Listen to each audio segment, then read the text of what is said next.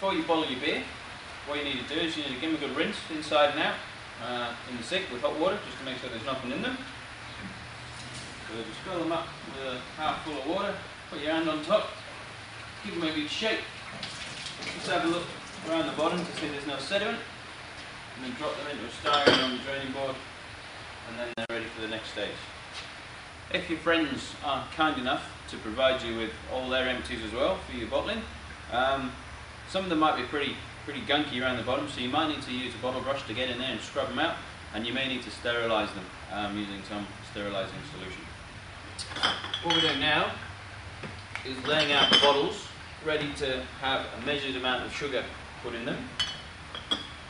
And what that does is uh, kickstart the yeast again in the bottles that's left in, in, the, in the beer from the fermenting bin, and that starts the secondary fermentation.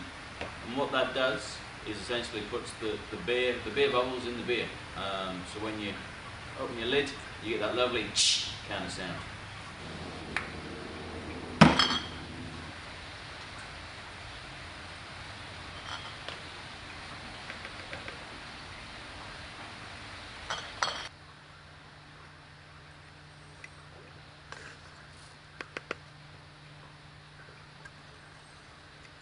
Okay, now we're ready to bottle.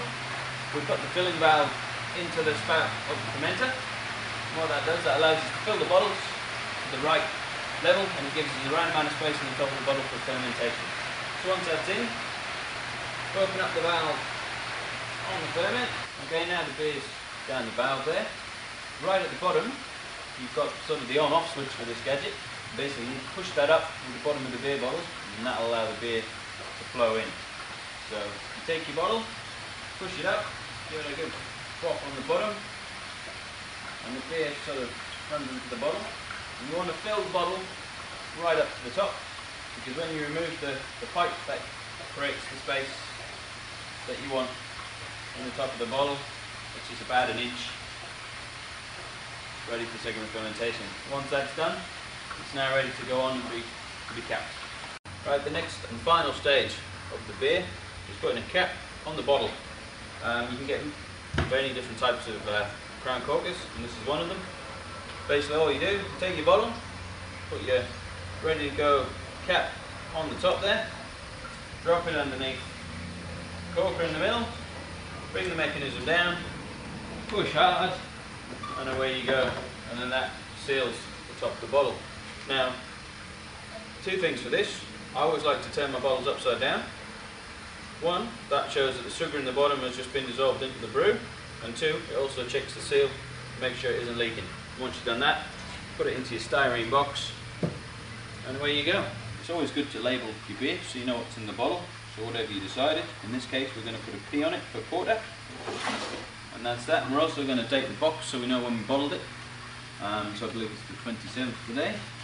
So that's the 27th of April. Here in Australia, the majority of your beer bottles um, are twist tops. Now, to create a satisfactory seal with your crown cork on the bottle, you need to have the right kind of capping machine. Um, the little handheld jobs that you hit on with a mallet basically doesn't apply enough pressure to mould the cap to the screw thread there. Um, and if that's the case, you'll get obviously leakage, possibly bottle explosion, and your beer is just going to go bad.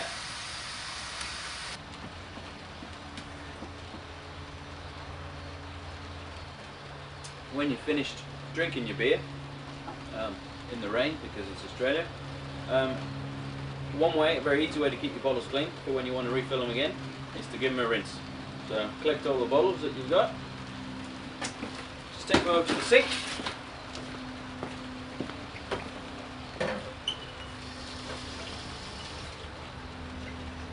Give them a shake and a wash. And that just gets rid of any sediment and mm. rubbish in the bottom that nasties will sort of like to grow on. And then leave them upside down in a styrene or a crate somewhere. And leaving them upside down stops the dust getting in them as well.